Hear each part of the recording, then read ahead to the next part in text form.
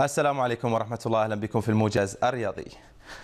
وقع مهاجم نادي الرفاع لكرة القدم عبد الرحمن مبارك عقد انتقاله رسميا لصفوف النادي الأهلي لمدة موسم واحد على سبيل الإعارة ليكون مع محمود جلال أول لاعبين في تاريخ الكرة البحرينية يلعبان لأندية الثلاثة العملاقة في كرة القدم البحرينية.